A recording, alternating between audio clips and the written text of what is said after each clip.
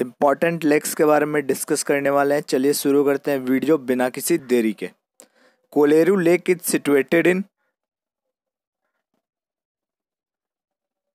right answer is Andhra Pradesh Hussain Sagar lake is situated in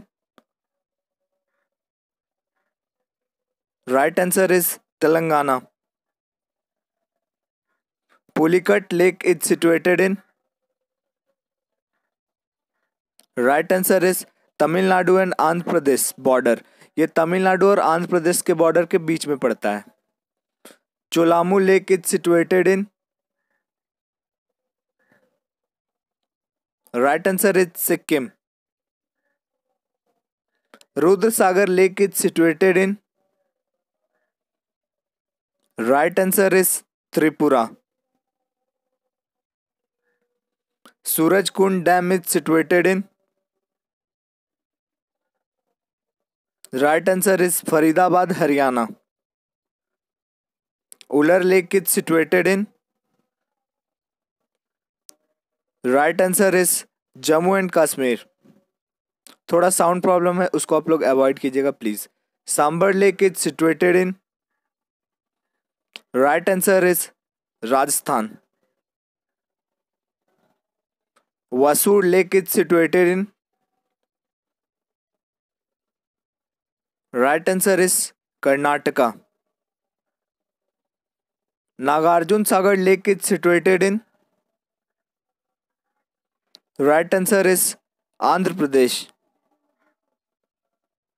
Kanwar Lake is situated in?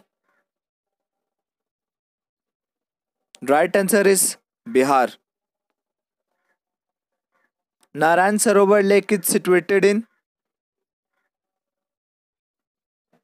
Right answer is Gujarat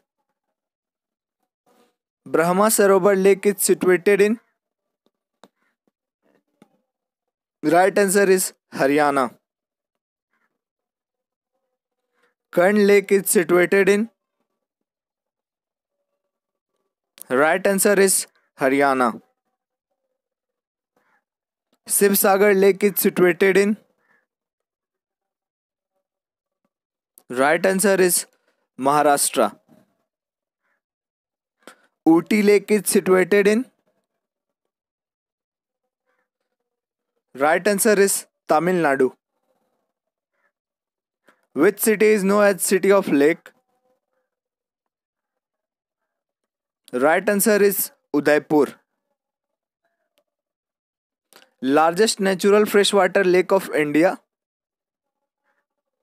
Right answer is Wular lake जो कि जम्मू कश्मीर में है which is the longest lake of India